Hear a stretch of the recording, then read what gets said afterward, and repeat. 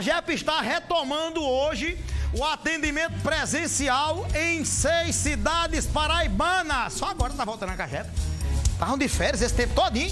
Cadê Poliana com essa, hein? Tá voltando agora, é, Poliana, a, a Cagepa? É isso mesmo, viu, Erli? Voltando a partir desta terça-feira, o atendimento é realizado das 7 da manhã até meio-dia e também das 13 horas até as 17 horas. Mostra aqui a moeda álcool em gel, também alguns adesivos demonstrando aqui que as pessoas devem manter um distanciamento tudo isso, medidas, protocolos relacionados à segurança em relação à Covid-19. E a gente convocou aqui o Pablo Alencar, ele que é gerente de relacionamento com o cliente, para passar essas informações para quem está assistindo. Pablo, são seis municípios que a partir de hoje voltam com este atendimento presencial. Quais municípios são esses? Boa tarde, Poliana. Boa tarde a todos que estão em casa. A partir de hoje, dia 1 de junho, a Cagepa retorna com atendimento de forma presencial em seis cidades.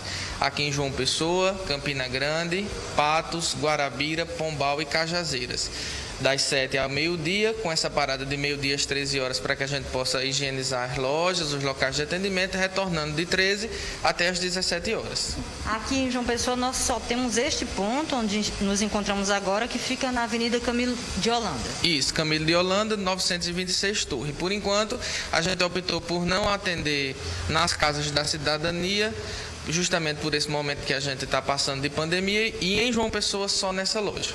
Eli, a gente está justamente no horário é, de intervalo que não tem um agendamento, não tem gente sendo atendida. Por isso, olha, que as pessoas estão aqui, né, os funcionários, mas não tem gente sendo atendida neste momento porque justamente como eu disse para vocês no início, esse atendimento é de 7 da manhã até meio-dia e depois de 1 da tarde até as 17 horas. Mas antes de encerrar, eu preciso lembrar para você que antes de vir para cá, é preciso, Pablo, fazer um agendamento.